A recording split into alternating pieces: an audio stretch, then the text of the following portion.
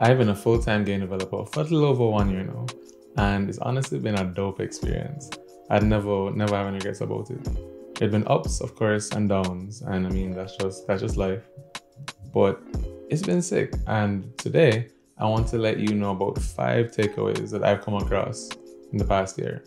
Whether it's something I knew about before, or you know, just something that's brand new information to me. I want to share this with you so that it can help you on your journey in the future. If you don't know me, by the way, my name is Graham Reid and I'm a Jamaican indie game developer. So, first things first, you have to make a plan. You have to make a plan. You can't just wing it. Like, despite what it sounds like, it's not just fun and games. You know, you have to really plan what you want to do and where you want to go step by step over the course of several years because it's a business unless you're trying to be a hobbyist game developer, then you really need to know where you're going and how you're going to get there. You have to have a good plan. I mean, unless, unless of course you're balling, in which case, do you? Now, of course, you could have the most immaculate plan, right? Make the perfect plan on paper, and it's great. But you know, life has a way of just throwing things our way, and brings me to my second point. Happens. It just does and you have to plan for that. Obviously, you can't plan for specific scenarios, but what you can do is that you can budget your time so that way you're actually able to, you know, take time off. You're able to deal with whatever life throws at you. It can't just be you working 100% of the time, seven days a week, 365 days a year. You have to make a plan for when life happens, you know? And that's really a big thing that I had to learn this year. Thankfully, I planned everything with padding because, you know, everything can't just be followed to the T like that. But sadly, I had a, a, a loss this year and it was, it was really hard. It was really hard for me to deal with. But thankfully, there's padding in my plan. And so it all worked out in it. And I'm still, I'm still here, still making games. And it didn't derail me. Mentally, it was hard, but it didn't derail my career trajectory. You can make the perfect plan and you can have like the best year in the world. No hiccups, no sadness, nothing. You can just have the best year, right? And even then, guys, games are they're really hard to make. They're really, really, really hard to make. And you might just come across some challenges, you know? Whether it's your game isn't as fun as you thought it would be, or there's one part in the game that's just really hard to make. You never know. And so, what I need for you to do is my third point give yourself some grace. Because perfection is a lie. And if you keep trying to strive for that and beat yourself up over, you know, things not working according to your plan that you perfected, then yeah, you're just going to burn out. Because burnout is real. Failure is real. Making games is really hard. And yeah, just give give yourself some grace especially if it's your first time making a game, give yourself some grace. You'll eventually you'll figure out your process and you'll figure out how much better it is once you understand the whole cycle of making games. Even if you're an expert, honestly, still give yourself some grace because just because something works excellently the first time doesn't mean that it's going to be the exact same journey the second time, third time, fourth time, you know? Too often in the early years of a dev's career, they decide to call it quits because they're burnt out, they just can't do this, their game idea is just too big, they can't manage. And it, it just sucks because it's not that they couldn't do it, it's just that they weren't prepared for the journey ahead.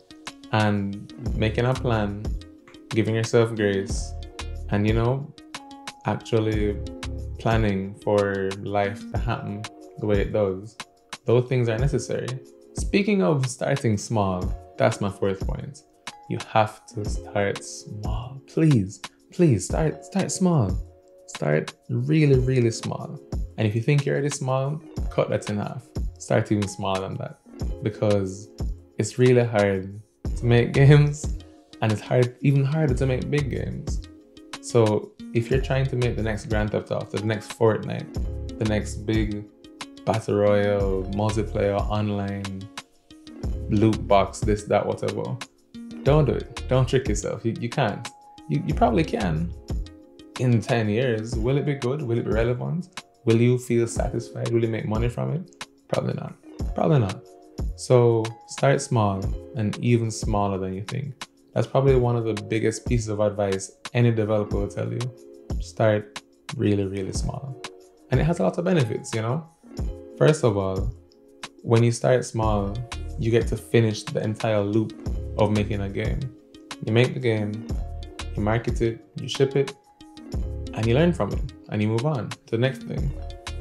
And if you do this a couple of times, you can actually realize, oh, hey, maybe I don't even need to make big games because I like this size of a game. Or you realize, oh, now that I've done this a couple of times, I can scale up. I can help get help hire people, all that stuff, and make something bigger. Or you can realize, yeah, now game dev isn't for me. I'm not really enjoying this process. And trust me, it's much better to learn that while making small things than spending so much time working on this massive project, which you thought was small, but it really wasn't small. My fifth and final point is that there are different ways to make money. Now, that may sound obvious because obviously there's like a thousand ways to make money, thousands of ways to make money. But I feel like a lot of times when people go into game development, they're thinking, oh, I'm just going to make money from selling a million copies of my game and become a billionaire. But that's not how it works. That's not the only way to make money.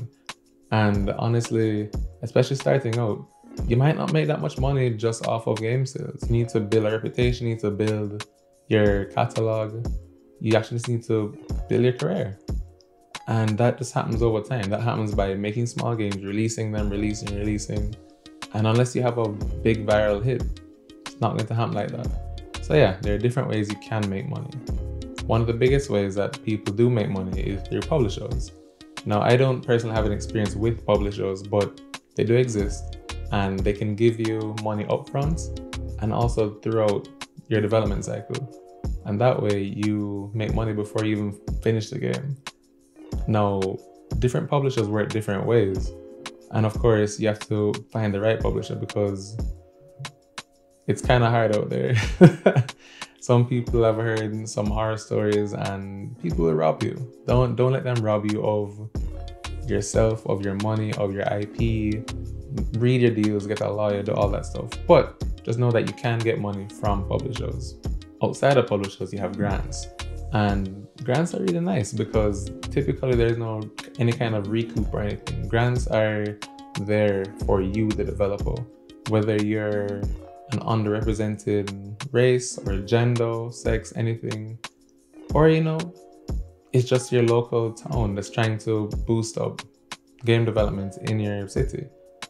There are grants for a lot of different things, and it would be very good for you to actually go and seek these grants because they're literally made for you. That's their whole purpose of being. Someone took this money and said, Here, we want to give it to you. All you have to do is apply for it. And yeah, you it's really nice getting grant money. I can I can tell you that much. Now, those first two things, of course, are related to you, your game, and your studio. But you can also just work on other people's games. Most recently, I actually got to do some UX UI for this sick, sick, sick, sick, sick game called Proto Droid Delta, a game by Adam Karim and his team. And yo, that was really fun to work on. Not only, of course, I got I got paid, but I got to level up my skills. I got to get a whole new experience of just focusing on one aspect of game development. I didn't have to focus on the marketing, the business, programming, all that stuff. No, I just came through, did what I was hired to do, and then learned from that.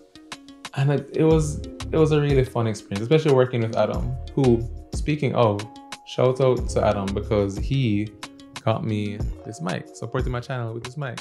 So thank you. If you if you listen to my old videos, it doesn't sound this nice. I can promise you that. So big up dog. And lastly, you know, you could just go and do a side hustle, something that's not even directly related to game dev. You can open an online store, maybe sell some prints or something like that. You know, you could use your programming skills to help someone with an app. There's so many opportunities. You know, you could even start a YouTube channel like, subscribe, share. So yeah, of course, that was just a very quick synopsis of five takeaways I had over my past year. If you want me to delve into anything deeper, just let me know in the comments because some of these things I can definitely talk about more in depth. If you're still here, please, please, please click the link below. Go on Wishlist Super Space Club on Steam. and catch you in the next one. Look more.